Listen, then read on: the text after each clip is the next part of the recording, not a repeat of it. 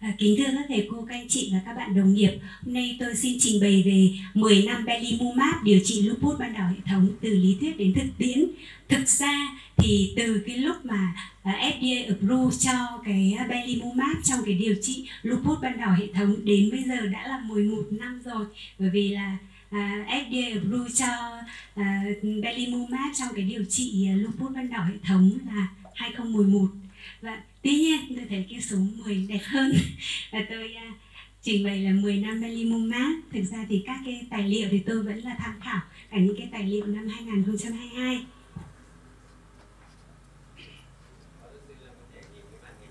à, vâng, vâng, à, chúng ta biết là lupus ban đầu hệ thống là bệnh tự miễn ảnh hưởng đến rất là nhiều cơ quan trong cơ thể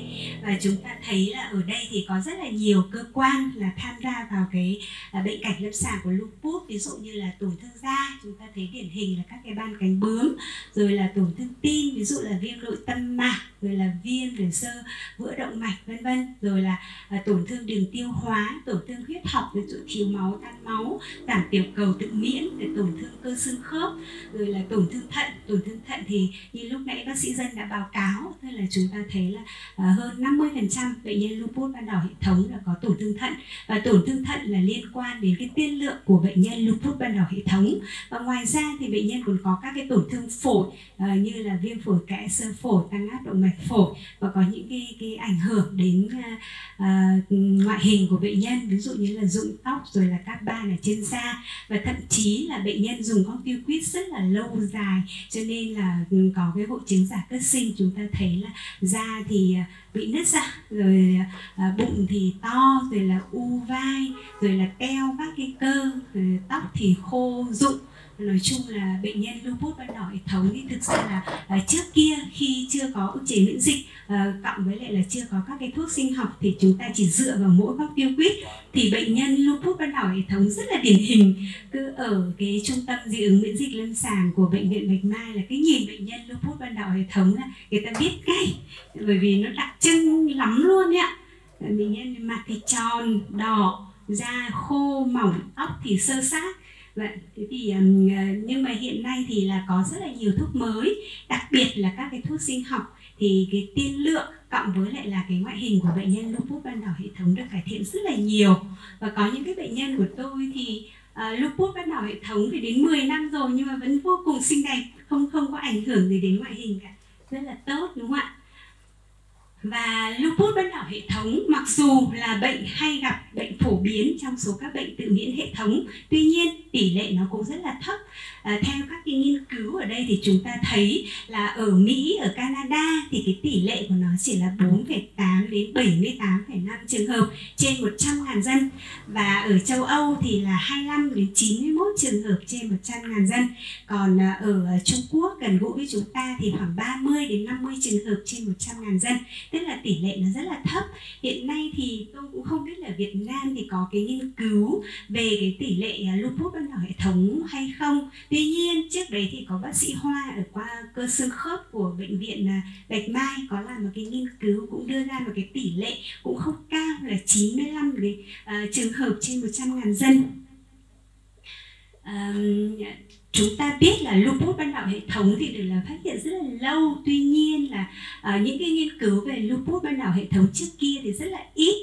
cái từ lupus ấy, thì theo cái nghĩa Latin có nghĩa là sói. Bởi vì cái tổn thương da của bệnh nhân là giống như cái biểu hiện của cái sói sói cắn ấy cho nên là người ta gọi là lupus. Và tại cái thời điểm đấy tức là những cái thế kỷ à, 19 trở về trước thì người ta cũng không phân biệt được cái lupus uh, lupus da là hay là lao da và người ta đồng nghĩa với lupus là lao da và bắt đầu từ những năm 1900 trở đi thì bắt đầu có rất là nhiều các cái nghiên cứu rất nhiều phát hiện về lupus ban đảo hệ thống. Ví dụ như người ta phát hiện ra là kháng thể kháng nhân rồi là đến năm 1950 người ta phát hiện ra vai trò của glucocorticoid. À, không những trong điều trị lupus ban đảo hệ thống mà điều trị các cái bệnh khác nữa và tại cái thời điểm đấy thì người ta coi glucocorticoid như là một thần dược. Và chính vì thế cho nên là à, chỉ sau 2 năm là người ta có thể mô tả được tất cả đầy đủ các cái tác dụng phụ của glucocorticoid như thế chúng ta thấy là được sự lạm dụng của thuốc chỉ trong vòng 2 năm, đúng không ạ? Và sau đó thì là có rất là nhiều các cái thuốc được áp dụng trong cái điều trị lupus ban đảo hệ thống. Mặc dù là chỉ là ở label chứ không được FDA approve ví dụ như chúng ta có thể sử dụng các cái thuốc ức chế miễn dịch như là cyclophosphamide này rồi là cyclosporin, MMS à, vân vân. Ờ, thậm chí là cả các thuốc sinh học như là rituximab nhưng không hề có một thuốc nào được FDA approve. Và cái đến năm 2011 là ừ, FDA approve ờ, cái thuốc belimumab, belista đấy ạ là cái thuốc duy nhất trong vòng 50 năm được ờ, uh, FDA approve cho điều trị lupus ban đảo hệ thống thế thì uh, cơ chế của lupus ban đỏ hệ thống thì chúng ta biết là có rất là nhiều yếu tố tham gia vào sinh bệnh học của lupus ban đỏ hệ thống ví dụ như là di truyền. Mặc dù chúng ta biết là di truyền của trong cái lupus nó là di truyền đa gen nhưng chúng ta thấy là cái tỷ lệ à, bệnh nhân ờ, à, F1 là lupus thì cao hơn hẳn so với những cái cái gia đình mà không có bố mẹ hoặc là người thân mắc bệnh tự miễn và một cái yếu tố nữa là yếu tố môi trường. Tại sao chúng ta lại nói là yếu tố môi trường? Bởi vì chúng ta thấy là nhiễm virus này, rồi là một số các cái thuốc có thể gây ra các cái bệnh lupus ban đạo hệ thống. Và một cái điều quan trọng nữa là ánh nắng mặt trời cũng có thể là thúc đẩy cái bệnh lupus và gây ra các cái đợt cấp của lupus ban đảo hệ thống. Rồi hormone hormone là một cái mà hiện nay thì vẫn đang còn nhiều tranh cãi, bởi vì chúng ta thấy là lupus ban đảo hệ thống là một bệnh xảy ra chủ yếu ở nữ giới cứ một nam thì có 9 thậm chí là có những nghiên cứu người ta đưa ra là 15 nữ à, tỷ lệ nó rất là rất là chênh lệch đúng không ạ? Và tuổi của lupus ban đỏ hệ thống thì xảy ra chủ yếu trong cái giai đoạn sinh đẻ. Và thậm chí có một thời gian người ta thấy rằng là à, khi mà sử dụng các cái thuốc à, tránh thai à, có chứa cái cái à, estrogen thì người ta thấy là bệnh lupus là cái xuất hiện cái tần suất đợt cấp cao hơn hẳn nặng hơn hẳn so với những người bình thường. Sau này thì có những nghiên cứu thì người ta lại thấy là à, không không đưa ra những cái kết luận mà có ý nghĩa thống kê thì người ta lại khuyến cáo bệnh nhân là nên sử dụng à, các cái thuốc à, không nên sử dụng thuốc tránh xa estrogen liền nồng độ cao. Thế nhưng tuy nhiên hiện nay thì những cái cái giả thuyết đấy người ta vẫn đang còn à, có rất là nhiều cái nghiên cứu à, à đưa ra những cái kết quả à, trái ngược nhau. Và À, lupus ban đảo hệ thống thì chúng ta biết là cái vai trò của lympho B rất là quan trọng bởi vì sản xuất ra các cái tự kháng thể. Các cái tự kháng thể kết hợp với các tự kháng nguyên tạo thành các cái phức hợp miễn dịch lắng động ở trên các cái cơ quan và đồng thời hoạt hóa các cái lympho B tự phản ứng để tạo ra các cái cytokine và gây ra tổn thương các cái cơ quan đích. Ở đây chúng ta thấy là có rất là nhiều cơ quan đích bị tổn thương trong cái bệnh lupus ban đảo hệ thống. Và tôi muốn nhấn mạnh đến cái vai trò của À, tế bào B. Trong cái lupus ban đảo hệ thống chúng ta biết là à, lúc cái à, tế bào B là sau khi được biệt hóa thành các cái tương bào thì sẽ sản xuất ra các cái tự kháng thể. Và các cái tự kháng thể này thì sẽ hình thành các cái phức hợp miễn dịch và tạo thành uh, hoạt hóa cái quá trình bổ thể để lắng động lên các cái cơ quan để uh, gây ra tổn thương các cái cơ quan đích. Đồng thời là nó ừ, lympho B còn có một cái vai trò nữa là trình diện kháng nguyên cho lympho T để uh, hoạt hóa cái lympho T tự phản ứng và đồng thời chính bản thân lympho B cũng sản xuất ra các cái cytokine gây viêm để gây ra các cái tổn thương các cơ quan tế bào đích và và ở đây thì chúng ta thấy là lympho B thì có một cái yếu tố gọi là yếu tố hoạt hóa lympho B. Thế thì cái yếu tố hoạt hóa lympho B này khi gắn với lại là cái uh, uh, receptor uh, của cái tế bào lympho B thì nó sẽ là trưởng thành cái tế bào B và nó ngăn làm uh, nó làm cho tế bào B sống lâu hơn và ngăn ngừa cái quá trình là chết tế bào theo chương trình. Và một cái nghiên cứu uh, được tiến hành năm 2001 ở trên một hai cái nhóm bệnh là 150 à, bệnh nhân lupus ban đảo hệ thống và 57 bệnh nhân viêm khớp dạng thấp thì người ta thấy là cái nồng độ của ben uh, xin, xin lỗi belit là cao hơn hẳn so với những người bình thường cao hơn hẳn một cách có ý nghĩa thống kê. Bệnh nhân lupus ban đảo hệ thống thì cao hơn bệnh nhân viêm khớp dạng thấp. Tuy nhiên với những bệnh nhân viêm khớp dạng thấp mà có tràn dịch khớp ấy, thì tức là viêm thanh mạc ấy, thì là à, cái, cái nồng độ um, belit cũng là cao hơn và một cái nữa là à, tác giả cũng nhận ra là tác giả cũng tác giả cũng nhận ra là có một cái sự phù hợp có ý nghĩa thống kê với lại là cái nồng độ của kháng thể DNA với lại là cái nồng độ Belis tức là yếu tố hoạt hóa lympho B đấy ạ. Và ở đây thì chúng ta thấy là cái sự khác biệt này đều có ý nghĩa thống kê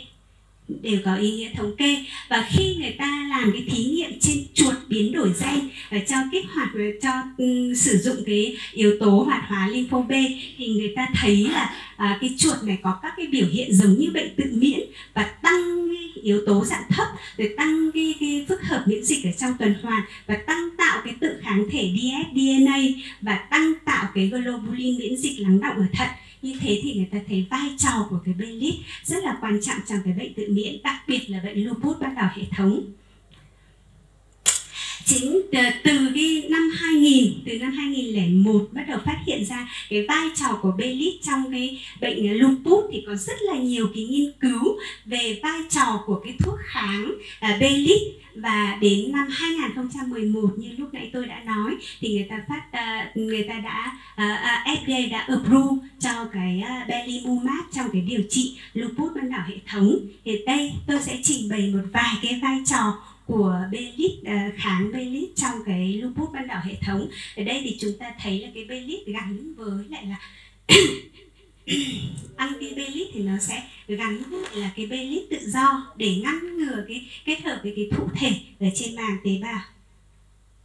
Và đây là một cái nghiên cứu pha một à, được tiến hành à, ở ừ, trên các cái bệnh nhân lupus ban đảo hệ thống có 57 bệnh nhân lupus ban đảo hệ thống. Và chúng ta thấy là bệnh nhân này là à, được à, tiến hành trong vòng à, 3 đến 4 tháng và kết quả thì là chúng ta thấy là cái liều ờ, uh, beli, cái liều belimumab được sử dụng là từ 1 đến 20 mg trên kg cân nặng và có thể sử dụng single hoặc là double. Sau đó thì theo theo cái um, tức là trong cái ờ, thời gian đầu tiên thì là có thể sử dụng một liều đơn hoặc là liều đúc. Và theo sau suốt đến uh, 112 ngày thì chúng ta thấy là cái liều belimumab uh, đã ức chế và ở đây chúng ta thấy là làm cho cái bandwidth nó giảm đến tận ngày thứ 42 đúng không rất là tốt. Và hiệu quả thì chúng ta thấy là à, sau cái quá trình sử dụng thì làm thay đổi cái hiệu giá của kháng thể DS DNA đến thậm chí là đến ngày thứ 42 trong cái liệu trình điều trị và ừ, khi mà đánh giá trên cái chỉ số Selena ờ, Selena Slide thì chúng ta thấy là cải thiện rất là tốt. Mặc dù là à, với cái liều đơn thì là cải thiện là cái à, chỉ số nhẹ thì là không có ý nghĩa thống kê. Tuy nhiên, với những cái trường hợp nặng thì ý nghĩa thống kê rất là lớn và ừ, ừ, cái nghiên cứu này đưa ra cái kết luận là sử dụng ừ, kháng belimum, à, belimumab thì rất là hiệu quả và an toàn trong cái điều trị lupus ban đảo hệ thống. Và đây là tiền đề cho cái nghiên cứu pha 2 và đây là một cái nghiên cứu pha 2 là nghiên cứu ờ, ờ, à, mù đôi ngẫu nhiên và có nhóm chứng. Thì ở đây thì là được sử dụng cho bệnh nhân là trong vòng 52 tuần. Và chúng ta thấy kết quả là chúng ta thấy là à, thay đổi à, chúng ta thấy là thay đổi cái chỉ số selenite à, selena selenite là à, rất là tốt và hiệu quả nhất là với cái liều 10 mg trên kg cân nặng ạ. Và chúng ta thấy là giảm được cái liều à, prednisolone ừ, và giảm được cái à, giảm được à, cái phần trăm sử dụng và giảm được cái số ngày sử dụng. Và chúng ta thấy là gì ạ? À, giảm được cả cái miligam sử dụng prednisolone. Đồng thời là à, với cái thuốc ức chế miễn à, à, ức chế miễn dịch thì chúng ta thấy là không thay đổi nhiều à, so với lại là corticoid và đợt cấp thì cải thiện rất là tốt à, đặc biệt là ở cái nhóm sử dụng 10 mg trên kg cân nặng và một cái nghiên cứu khác người ta sử dụng là khi sử dụng um, lâu dài thì uh, tổn thương cơ quan uh, ở lupus thì có cải thiện hay không? Và cái nghiên cứu này thì là được tiến hành uh, tôi tôi sử dụng cái hiệu ứng nhưng mà ờ, nó trồng cho nên các bạn các anh chị không nhìn thấy cái tên của cái bài uh, sử dụng trong vòng 5 năm và chúng ta thấy là uh, đây là kết quả sử dụng thì chúng ta thấy là rõ ràng là uh, thay đổi thay đổi ừ, rõ thay đổi rất là rõ rệt. À, theo cái thời gian lại càng uh, chúng ta sử dụng à, xin lỗi chúng ta sử dụng cái à, uh, Slick Denmark Index Score để đánh giá cái đáp ứng của thuốc thì chúng ta thấy là cái chỉ số này là thay đổi cải thiện theo từng năm ạ. Và đến 5 đến 6 năm thì cải thiện là lớn nhất. Và cái tác dụng phụ thì chúng ta thấy là tác dụng phụ thì rất là ít. Tác dụng phụ nhiều nhất thì chúng ta thấy vẫn là nhiễm trùng ạ. Nhiễm trùng này rồi là nhiễm uh, Ờ, herpes nhiễm herpes và trầm cảm. Thế thì chúng ta biết là à, ừ, chúng ta biết là ừ, sử dụng thuốc sinh học thì khi mà chúng ta sử dụng các cái thuốc đích ấy, thì thuốc là làm tăng cái nguy cơ nhiễm trùng. Chính vì vậy thì chúng tôi khi mà trước khi sử dụng thuốc sinh học thì chúng tôi đều làm sàng lọc. Chúng tôi sàng lọc cái gì? Chúng tôi làm quantiferol nếu âm tính thì chúng tôi rất là yên tâm. Rồi là chúng tôi làm các cái ờ, nhiễm trùng các cái virus đường toàn thân. Đấy thậm chí nếu như có những cái bệnh nhân mà có dương tính thì chúng tôi có thể là cho điều trị trước à, điều trị trước. Và trong cái quá trình điều trị thì chúng tôi theo dõi các cái uh, marker nhiễm trùng rất là chặt chẽ để tránh cái tác dụng phụ nhiễm trùng. Thế còn cái um, um, ác tính để chúng ta thấy là ác tính cũng có một cái tỷ lệ nhất định. Thì thực ra thì tất cái này thì không chỉ có mỗi belimumab mà tất cả các cái thuốc uh, sinh học thì đều như thế. Bởi vì chúng ta biết là trong cái quá trình sản xuất các cái thuốc sinh học thì chúng ta phải gắn một cái tế bào sống lâu. Bởi vì sống lâu thì mới sản xuất được nhiều kháng thể. Mà tế bào sống lâu thì chỉ có mỗi cái tế bào ung thư. Cho nên là trong cái quá trình sản xuất các cái kháng thể đơn dòng chúng ta phải lai với lại là các cái tế bào ung thư mặc dù là trong cái quá trình sản xuất thì nhà sản xuất người ta tinh chế rất là tuyệt vời tuy nhiên đâu đó cũng có những cái nghiên cứu cho thấy là cái tỷ lệ ung thư nó cao hơn ở cái nhóm thuốc điều trị sức sinh học so với lại cái uh, nhóm trứng. Tuy nhiên không có ý nghĩa thống kê và không có ý nghĩa thống kê thì thực ra rất là khó nói đúng không ạ? Dạ. Và tóm lại là cái thuốc uh, belimumab là rất là an toàn và hiệu quả trong cái điều trị lupus ban đỏ hệ thống và bắt đầu từ năm 2011 từ lúc FDA được approve điều trị cho uh, lupus ban đảo hệ thống thì uh, các cái, cái nước ở trên thế giới cũng đã đưa ra rất là nhiều cái thay đổi. Ví dụ như năm 2017 thì FDA và ờ, uh, EMA đã approve cho cái thuốc belimumab tự tiêm cái tự tiêm thì có hai dạng là tự tiêm tự động hoặc là cái thuốc mà có cái xi lanh để tự tiêm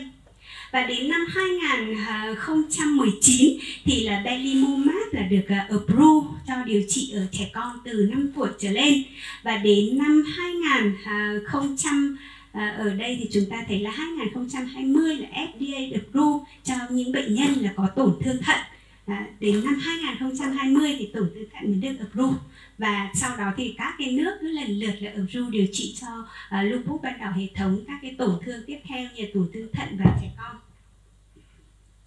À, ngoài cái belimumab thì chúng ta thấy là à, các cái thuốc khác à, tác động trên cái belit thì kháng belit thì còn có các cái thuốc khác ví dụ như là à, atacicept này rồi là blipimod này à, talalumab này. Tất cả những cái thuốc này thì vẫn là đang trong cái quá trình thử nghiệm lâm sàng hy vọng trong tương lai thì chúng ta sẽ có những cái, cái à, có được những cái approve mới đúng không ạ? À, đây là cái balista là cái thuốc à, được FDA approve trong cái điều trị lupus ban đầu hệ thống. Thì nó có hai dạng một là bột đông khô hay là cái dạng tự tiêm. Thế thì à, ở Việt Nam mình thì hiện nay thì uh, là một là một cái mà tôi nghĩ là chúng ta cần phải bàn luận. Đấy là thứ nhất là giá và cái sự sẵn có của thuốc hay không? Thế thì vì là cái này thì là từ năm 2019 thì tôi cũng đã trao đổi với lại hãng rất là nhiều lần. Đây là hãng Glaxo về cái việc là hãng có đồng ý để đưa thuốc về Việt Nam hay không? Tuy nhiên là hãng sau khi trao đổi với vùng thì là người ta không đồng ý bởi vì cái tiềm năng của Việt Nam là không không không không có thứ nhất là Việt Nam là nước nghèo và cái thứ hai nữa là cái cái hành chính của Việt Nam rất là phức tạp. Không biết đã hết giờ chưa? À, hành chính của Việt Nam rất hành chính của Việt Nam rất là phức tạp, cho nên là hãng vẫn chưa đưa về, vẫn chưa có cái chính sách để đưa về trong vòng 5 năm kể từ năm 2019 à, và chính vì thế cho nên hiện nay thì chúng tôi vẫn dùng nhưng mà dùng thì vẫn là gì ạ? Vẫn là thuốc gọi là thuốc sách tay. Người chúng ta gọi là ừ, chúng ta à, khi mà nói đến thuốc sách tay thì chúng ta vẫn nói là gì ạ? Là thuốc trôi nổi trên thị trường. Thực ra thì cái này thì chúng tôi liên kết với một số các cái bác sĩ ở nước ngoài và đưa đưa thuốc về. Thế chính vì thế cho nên là gì ạ? Giá loạn xạ này có những nơi thì à, giá như này có những nơi thì giá như kia. Thế làm cho bệnh nhân cũng rất là khó khăn để tiếp ờ, gọi là tiếp cận với lại là cái valimumab trong cái điều trị lupus ban đỏ hệ thống. Mặc dù chúng ta thấy rất là hiệu quả và an toàn đúng không ạ? Và cái tiêm thuốc thì cũng rất là dễ bởi vì hầu hết người ta đưa về là các cái Valiumab tự tiêm. Tức là chúng ta chỉ cần là gì ạ? Ừ, đâm bấm ờ, bấm cái, cái, cái thuốc mà cái là thuốc nó tự tiêm tự tiêm sau khi tiêm xong hết là nó tách một cái thế là rút ra thôi. Rất rất là đơn giản vô cùng đơn giản. Bệnh nhân có thể dùng được ở nhà tự tiêm hoàn toàn là dễ dàng. Nhưng mà cái quan trọng là nhiều bệnh nhân muốn dùng cũng không có thuốc và thậm chí là gì ạ? À, thuốc thì rất là đắt nhiều lúc là cao hơn cái giá trị thực của thuốc. Và à, kết luận thì là Dalimumab là thuốc duy nhất được FDA approve cho bệnh nhân trong vòng 50 năm. Thì thực ra thì là à, đến tận là 2021 thì mới có các cái thuốc khác được approve cho nên nhiều lúc tôi nghĩ là có thể nói là trong vòng 60 năm là thuốc duy nhất được FDA approve cho điều trị lupus ban đảo hệ thống. Và thuốc thì có hiệu quả đối với bệnh nhân lupus ban đảo hệ thống từ 5 tuổi trở lên. Và cái phổ tác động thì rất là rất là rộng. Và thuốc thì vẫn là gọi là add-on therapy thôi. Và thuốc sử dụng tiện lợi ít tác dụng phụ. À, vậy và tôi xin à, trân trọng cảm ơn sự chú ý theo dõi và lắng nghe của các thầy cô, các anh chị và các bạn. Hãy đăng ký kênh alo bác sĩ video để nhận thêm nhiều thông tin mới nhất về y tế, sức khỏe.